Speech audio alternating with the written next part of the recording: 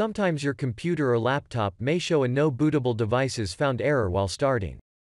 This will stop you from booting into your Windows. But don't worry all hope is not lost yet. Watch this video to see how to get rid of this error. Before we get started, subscribe to our channel, so you don't miss out any future videos. As always, let's first see what causes this error. 1. Incompatible hardware. 2. Loose SATA or IDE cables. 3. Boot sequence altered. 4. System repair. 5. Bad sectors check. We will now look into different solutions to this error. 1. Remove and put back hardware components ensuring that each device is properly connected. 2. Check your BIOS settings and ensure the right device is first in the boot order. 3. Use system repair and command prompt in system recovery mode. 4. Check bad sectors for hard drive. 5. Replace your hard drive and install a fresh version of your Windows operating system. Fix 1. Remove and put back hardware components.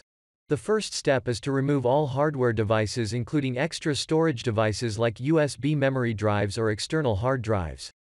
Also ensure that the hard drive cables are properly connected. Start your computer to see if problem has been resolved. Fix 2.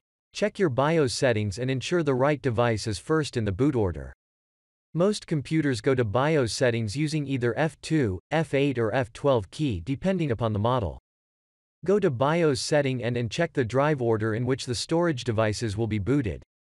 Ensure that the drive with your operating system is at top of boot order. Fix 3. Use system repair and command prompt in system recovery mode. Use a Windows disk or bootable disk drive to boot into the system recovery mode. In system recovery mode try startup repair option. If this doesn't work try to run the following command in command prompt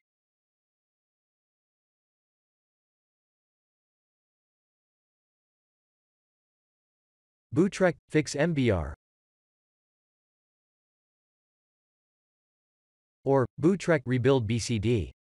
This will repair, rebuild the MBR which is master boot record and may possibly solve your problem. Fix 4. Check bad sectors for hard drive.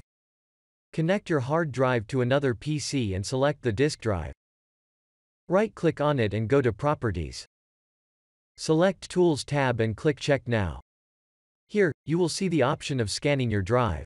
Click Scan Now to run the repair process. If your drive had bad sectors then after repair you can get the hard drive to work again. Fix 5.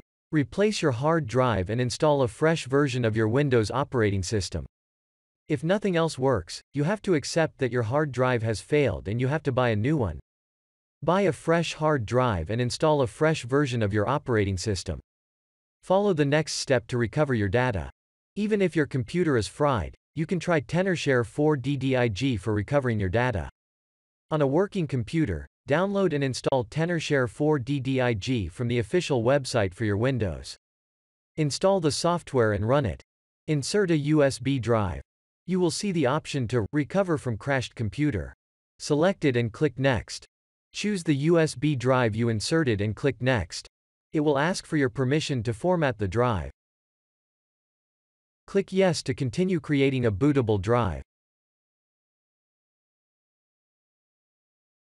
Upon completion, remove the USB drive and insert it into the crashed computer. Start the computer and go to BIOS setting to boot from the USB drive. This will load the Tenorshare 4 DDIG and now you can recover all your data. Recover all the files you want and save them in another location for safe keeping. These methods will help you to solve the no boot devices found error. And if the Fix 5 works for you then you can try Tenorshare 4 DDIG to recover your data. See you next time.